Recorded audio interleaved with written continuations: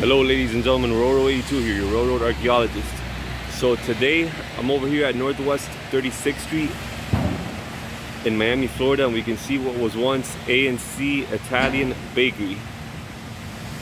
I'm guessing they mass produced Italian baked goods here. But it is now condemned. Nobody works here, everything is locked up. And this place at one point, you guessed it, they had rail service. They had rail service, right?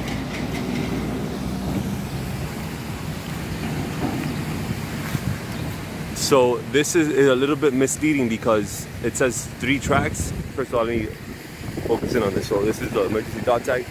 So this is Northwest 36th Street and CSX X S line, milepost 1032. Okay, and it says SFRTA because it, it really is a CSX line, but CSX sold it to the South Florida Regional Transportation Authority, so that's why it says SFRTA. And they sold it to them under the condition that they can still use the tracks. So there you go. And then this is where the tracks led into. You can see the stops back there. Maybe you can. Yeah. So we'll go back on the Google machine or historic aerials to see when was the last time this was in use. So yeah, the sign says three tracks, right? This track here. I'm gonna assume there's not gonna be a train coming through here anytime soon.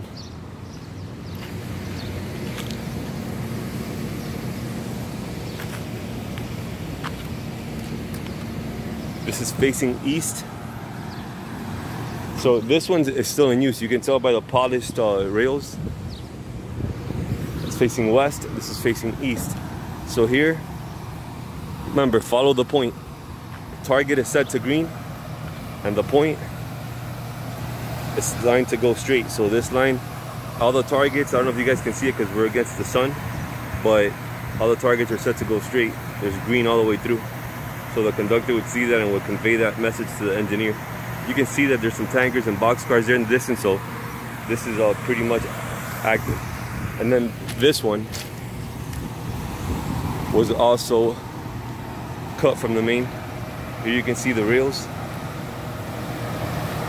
they just uh, disappear into the ground over here. This was once a loading dock.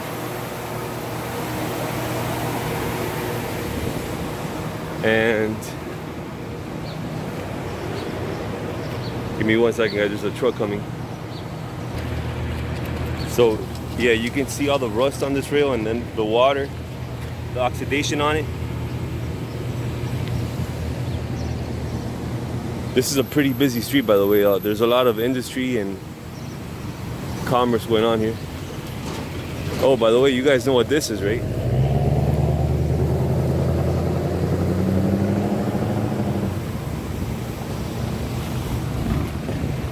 Okay, so what I wanted to show you was that spur. This spur over here ends at that palmetto tree.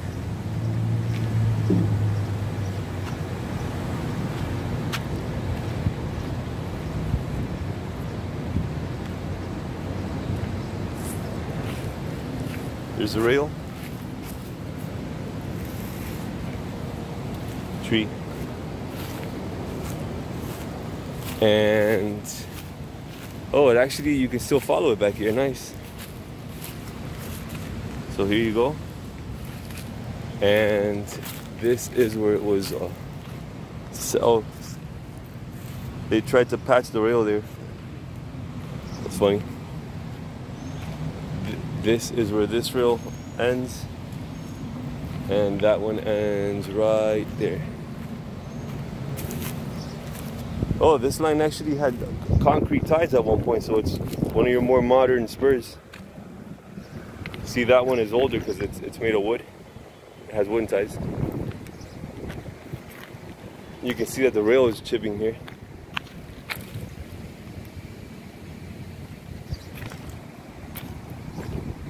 Alright ladies and gentlemen, give me a thumbs up please, it'll help my video in the search rankings with the YouTube algorithm. Leave me a comment, let me know what you think Sub if you haven't. I'm gonna include the Google Maps link to this place in the description so you guys can follow along. Always a pleasure. Leave you with a parting shot of uh, the crossbuck on this side. You got a yield sign, three tracks, which is baloney, and the emergency dot tag.